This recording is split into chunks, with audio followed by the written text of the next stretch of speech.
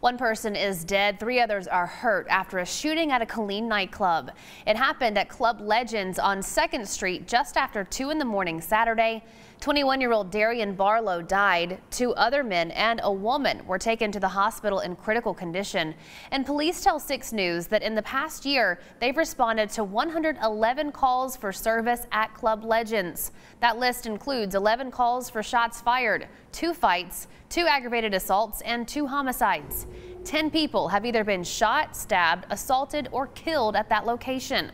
Killeen's chief of police spoke out on the issue, saying in part, quote, given the amount of reported violence in this particular location, we as the community cannot allow this activity to go unchecked. The Killeen Police Department will use all the tools at its disposal to ensure the safety of our citizens. End quote. Now, 6 News did reach out to the owner of Club Legends, but we did not get a response.